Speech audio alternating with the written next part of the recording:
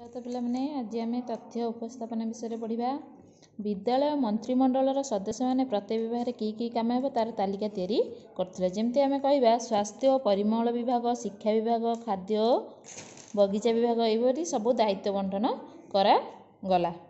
ସେହିପରି ଦେଖିବା ଏପଟେ କ'ଣ ଦେଲା ସବୁ ଏଇ ଦାୟିତ୍ୱ ଏଇଠି ଲେଖା ଯେମିତି ଶିକ୍ଷା ବିଭାଗରେ ପିଲାଙ୍କ ଉପସ୍ଥାନ ଦେବା ଖାଦ୍ୟ ସଂଗ୍ରହ କରିବା ଏହିସବୁ କାହାକୁ ଦିଆଗଲା? ସବୁ ବିଦ୍ୟାଳୟ ମନ୍ତ୍ରିମଣ୍ଡଳର ସଦସ୍ୟମାନଙ୍କୁ। ପୂର୍ବ ପୃଷ୍ଠା ଦିଆଯାଇଥିବା ତାଲିକା ଦେଖି ତଳ ପ୍ରଶ୍ନର ଉତ୍ତର। ବିଦ୍ୟାଳୟର ମନ୍ତ୍ରିମଣ୍ଡଳର କେତୋଟି ବିଭାଗ ଅଛି ସେଗୁଡ଼ିକ କ'ଣ କ'ଣ? ସେପଟେ ଅଛି ଆମର ଏ ଉତ୍ତର କରିବା ସେହି ଅନୁସାରେ ପ୍ରାର୍ଥନା ସଭା ଶେଷ ହେବା ପରେ ଶିକ୍ଷା ବିଭାଗର ମନ୍ତ୍ରୀ ପ୍ରତ୍ୟେକ ଶ୍ରେଣୀର ପିଲାମାନଙ୍କର ଉପସ୍ଥାନ ନେଲେ। ପ୍ରତ୍ୟେକ ଶ୍ରେଣୀ ଉପସ୍ଥିତ ଥିବା ପିଲା ସଂଖ୍ୟାକୁ ସେ କିପରି ସାରଣୀରେ ବର୍ଣ୍ଣନା କଲେ ଲେଖିବା। ଯେମିତି ଆମେ କହିବା କି ପ୍ରଥମ ଶ୍ରେଣୀର ବାଇଶ ଜଣ ଥିଲେ ଦ୍ୱିତୀୟ ଶ୍ରେଣୀରେ ଅଠର ଜଣ ତୃତୀୟ ଶ୍ରେଣୀରେ ତେଇଶ ଜଣ ଚତୁର୍ଥ ଶ୍ରେଣୀରେ ସତର ଏବଂ ପଞ୍ଚମ ଶ୍ରେଣୀରେ ଚଉଦ। ଏହିପରି ଭାବରେ ଉପସ୍ଥାନ ସିଏ ସଂଖ୍ୟା ନେଇକି ସାରଣୀ କଲେ। ଦିନେ ଆଲୋଚନା କରି ମିନା ବିଭାଗର ସଦସ୍ୟମାନେ ଠିକ୍ କଲେ ଯେ ବିଦ୍ୟାଳୟର ଝିଅମାନେ କେଉଁ କାମ କରିବାକୁ ପସନ୍ଦ କରନ୍ତି ନାମ କହିବାକୁ କୁହାଗଲା। ପ୍ରତ୍ୟେକ ପସନ୍ଦ କାର୍ଯ୍ୟଗୁଡ଼ିକୁ ହିସାବ କରାଯାଇ ତାକୁ ଗୋଟେ ସାରଣୀ କରାଗଲା। ଯେମିତି କହିବା ଆମେ କ'ଣ? କେତେକ ପିଲା କହିଲେ ଆମକୁ ଟିଭି ଦେଖିବା ଯେମିତି ତୁମମାନଙ୍କୁ ମୁଁ ପଚାରିବି ତୁମକୁ କେଉଁ କାମ କର ଫାଙ୍କା ସମୟରେ ତୁମକୁ କେଉଁ କାମ କରିବାକୁ ଭଲ ଲାଗେ? ସେହିପରି ଭାବରେ ତୁମେ ଯେମିତି କହିବ କିଏ କହିବ ମୋତେ ଟିଭି ଦେଖିବାକୁ କିଏ କହିବ ବହି ପଢ଼ିବାକୁ କିଏ କହିବ କ୍ରିକେଟ୍ ଖେଳିବାକୁ ସେହିପରି ମାନେ ପିଲାମାନେ କହିଲେ। ଆଠ ଜଣ ପିଲା କ'ଣ କହିଲେ? ଟିଭି ଦେଖିବାକୁ ଭଲ ପାଆନ୍ତି ଏବଂ କ୍ରିକେଟ୍ ଖେଳିବାକୁ କେତେ ଜଣ? ସତ ଜଣ। ଏହିପରି ଭାବରେ ସମସ୍ତେ କ'ଣ କହିଲେ? କାହାକୁ କେଉଁ କାମଟି ଭଲ ଲାଗେ ସେମାନେ ତାଙ୍କର କହିଲେ। ଏଇ ଯେଉଁ ପ୍ରଶ୍ନ ଗୁଡ଼ିକର ପ୍ରଶ୍ନ ଗୁଡ଼ିକ ଦେଇଛି ଏଇ ସାରଣୀରୁ ତାର ଉତ୍ତର କରିବା। ମନ୍ତ୍ରିମଣ୍ଡଳର କ୍ରୀଡ଼ା ଓ ସାଂସ୍କୃତିକ ବିଭାଗ ତରଫରୁ ପଞ୍ଚମ ଶ୍ରେଣୀ ପିଲାମାନଙ୍କୁ ନେଇ ନାଟକ ଅଭିନୟ କରିବା ପାଇଁ ଯୋଜନା କରାଗଲା ଯେଥାଏ ପର ଉପକାରେ। ଯେମିତି ଦେଖିବା ଅଭିନୟ କାର୍ଯ୍ୟରେ କେତେ ପିଲା? ଛଅ ଜଣ ବାଜା ବଜାଇବାରେ ଚାରି ଜଣ ମଞ୍ଚ ପ୍ରସ୍ତୁତରେ ପାଞ୍ଚ ଜଣ ଶାନ୍ତି ଶୃଙ୍ଖଳା ରକ୍ଷାରେ ଦୁଇ ଜଣ ପୋଷାକ ପତ୍ର ଯୋଗାଡ଼ରେ ତିନି ଜଣ। ସେପରି ଏଠି ଗୋଟେ ସାରଣୀ ମଧ୍ୟ ଦେଲା ଡ୍ରାମା ପାଇଁ ଗୋଟେ ସାରଣୀ କରାଗଲା। ସେଇଠି ଏଇ ଯେଉଁ ପ୍ରଶ୍ନ ଗୁଡ଼ିକର ଉତ୍ତର ଯେମିତି କହିବା କେଉଁ କେଉଁ କାର୍ଯ୍ୟ ପାଇଁ କେତେ ଜଣ ପିଲା ଦାୟିତ୍ୱ ନେଇଛନ୍ତି?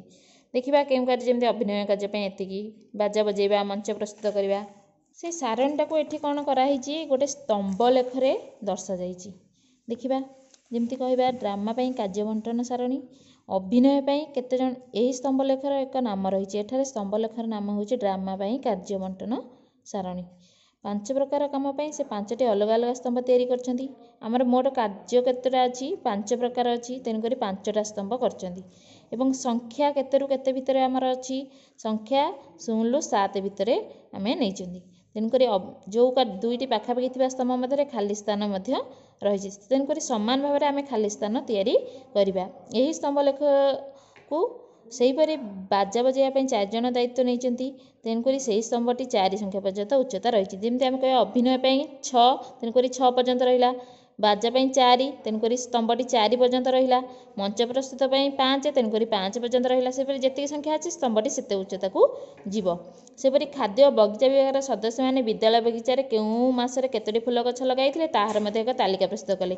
ସେଠି ଆମକୁ ସାରଣୀ ଥିଲା ଆମେ ସ୍ତମ୍ଭ ଲେଖ କଲେ। ଏଠି ଆମକୁ କ'ଣ ଦେଇଛି? ସ୍ତମ୍ଭ ଲେଖ ଦେଇଛି। ସେଇଥିରୁ ଆମେ ସାରଣୀଟା କେମିତି ସଂଖ୍ୟା ଜାଣିବା। ଏଠି କ'ଣ ମାସ ସଂଖ୍ୟା ଦେଇ ମାସ ଗୁଡ଼ିକ ଦେଇଛି। July August September October. ସେଇ ଯେଉଁ ଜୁଲାଇ ମାସରେ କେତେ ଲଗା ହେଇଛି? ଚାଳିଶ। ଅଗଷ୍ଟ ମାସରେ କେତେ? ଏଠି ଦେଇଛି ମଝିରେ ଦେଖିବ ଦଶ ହେନେ ମଝିରେ ଏଠି ହେଉଛି କେତେ? ପଚିଶ। ଏଠି ସେପ୍ଟେମ୍ବରରେ ତିରିଶ ଅକ୍ଟୋବରରେ ଦଶ। ଏଠି ମାସ ଗୁଡ଼ିକ ଅନୁସାରେ ଆମେ ଜାଣିଲେ। ସେହିପରି ଭାବରେ ଏଠି ଦେଖିଲେ ଗଣିତରେ ପାଇଥିବା ନମ୍ବର ବିଜ୍ଞାନରେ ପାଇଥିବା ନମ୍ବର। ଏଠି କ'ଣ ଦେଇଛି? ଚତୁର୍ଥ ଶ୍ରେଣୀ ବିଭିନ୍ନ ଏକକ ପରୀକ୍ଷଣରେ ଗଣିତ ବିଜ୍ଞାନରେ ରଖିଥିବା ନମ୍ବରକୁ ସ୍ତମ୍ଭ ଲେଖରେ ଦର୍ଶାଯାଇଛି ତେଣୁକରି ସ୍ତମ୍ଭ ଲେଖ ଅନୁସାରେ ତୁମେ ଏଇଠି କ'ଣ କରିବ? ଏଇ ସାରଣୀରେ ସବୁ ଉତ୍ତର ପ୍ରଥମ ଏକ ପରୀକ୍ଷଣରେ ପାଇଥିବା ନମ୍ବର ଗଣିତ। ଗଣିତରେ ପ୍ରଥମ ଏକକ ପରୀକ୍ଷଣରେ କେତେ ପାଇଛନ୍ତି? ଏଇଟା ହେଲା ଗଣିତ। କେତେ? ବାର ବାର ଜଣ। ସେହିପରି ଭାବରେ ଏଇ ସ୍ତମ୍ଭ ଲେଖରୁ ଏଇ ଉତ୍ତର ଗୁଡ଼ିକ ଲେଖିବ। ଏଇ ଅଭ୍ୟାସଟିକୁ ଘର ପାଠ କରିକି ମୋ ହ୍ୱାଟ୍ସଆପ୍ ନମ୍ବରରେ ପଠାଇବ। ହ୍ୱାଟ୍ସଆପ୍ ନମ୍ବର ହେଉଛି nine six five eight five seven eight five nine zero.